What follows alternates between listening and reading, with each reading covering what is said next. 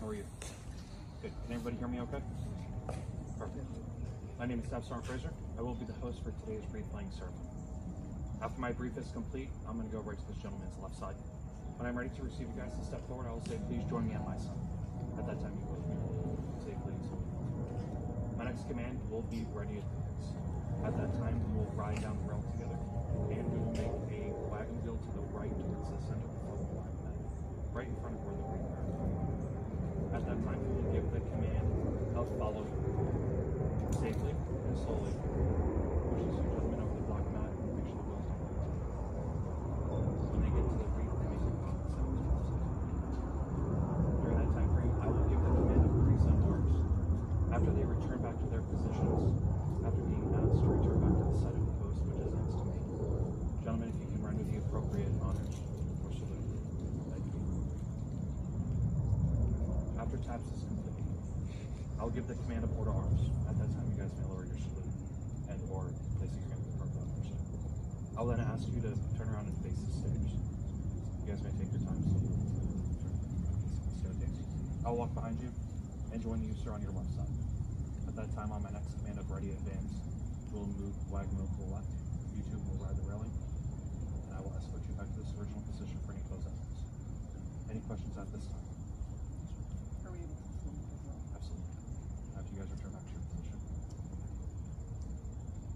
Any other questions at this time? No?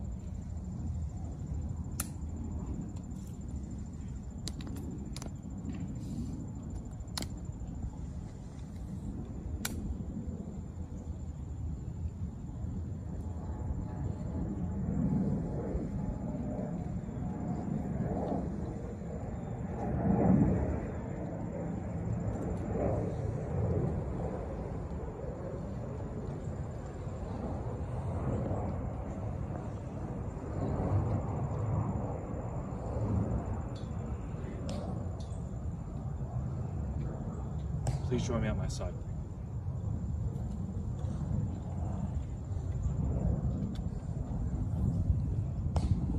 Ladies and gentlemen, may I have your attention, please? The ceremony that you are about to witness is an Army ceremony to be conducted by Honor Flight Nevada. It is requested that everyone remain silent and standing during this ceremony.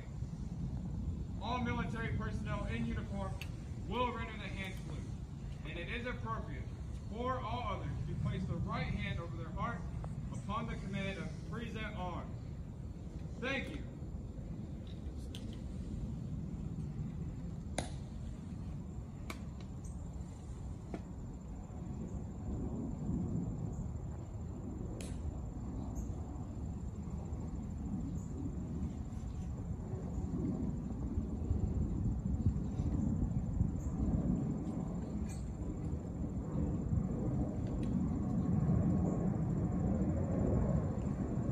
Ready? Advance.